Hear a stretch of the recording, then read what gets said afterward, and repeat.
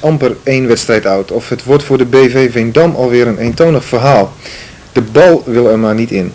Arjan Ebbingen kopte Veendam gisteren tegen VVV wel naar een 1-0 voorsprong, maar de Limburgers kwamen met slechts 10 man toch nog op gelijke hoogte. Veendam-trainer Henk Boedewes was boos. Pissig op de ploeg, uh, ja. Er worden fouten gemaakt en die gebeuren niet meer opzet. En daar zullen we van moeten leren. Maar het is inderdaad wel een beetje onvolwassen natuurlijk dat je nog één om krijgt op deze manier. Ik had het idee dat je er toch wel behoorlijk kwaad om was. Nee, een beetje pissig, niet kwaad. Boedewes houdt zich groot, maar inwendig kookt hij. En hij was vooral ontevreden over de aanvallende onmacht in de tweede helft en de slordig opgezette aanvallen. Het eerste schot van Veendam in de eerste helft van Arafat Heuvel. Een sierlijke voetballer.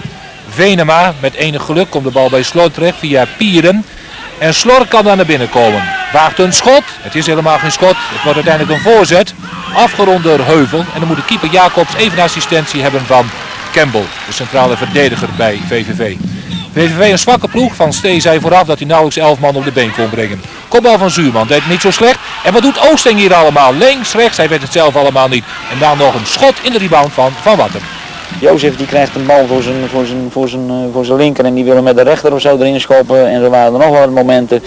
Met Zuurman totdat hij uitviel had hij een paar aardige kansen en deed het trouwens eh, aardig goed vond ik. Ja, ze zullen er niet om doen. Ik kan me daar niet uh, echt druk om maken. Nogmaals, als je, ze niet, als je ze niet creëert dan maak ik me wel zorgen. Maar dit moet goed komen. Henk Bodevens, hij praat zichzelf moed in, maar na afloop hoor je toch af en toe gefluit. Maurice Hofman, buitengewoon slim en hij verrast Venema en ook de doelman van Veendam Venema. Het wapenfeit van VVV in de eerste helft. Hofman tegen de lat. 26 minuten gevoetbald. Vrij schop Joop Gal. Ebbingen boven Campbell uit. En er staat 1-0 voor Veendam. En dan moeten er toch meer doelpunten volgen. Een stuk of 3-4. Een co-productie van twee verdedigers. Misschien wel een beetje symptomatisch voor de aanvallende onmacht. Een wilde trap van Gal. En dan zet Van der Meulen, die zet nog even aan. Die denkt, ik kan die bal nog net halen voor de doellijn. Doet hij ook, keeper eruit. Zuurman komt inlopen, botsing. En een stevige botsing. Zuurman valt uit. En Campbell ziet met één dat de keeper Jacob zijn tong heeft ingeslikt. En dat kan buitengewoon gevaarlijk zijn.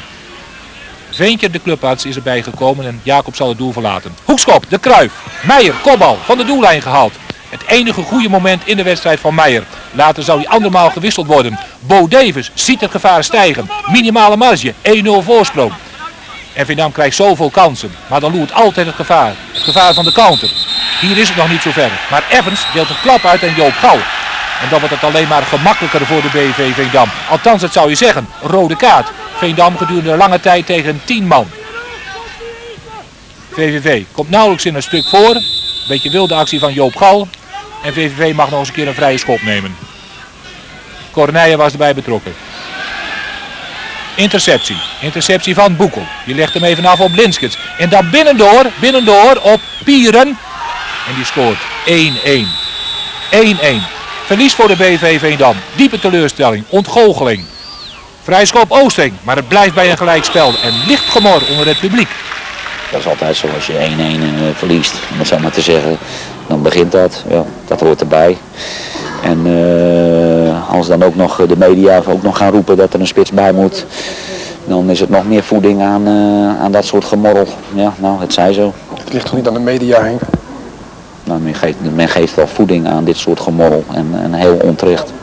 Nou, jij krijgt toch alle kans om te zeggen dat het volk zich geen zorgen hoeft te maken? Nou, dat zeg ik dan bij deze.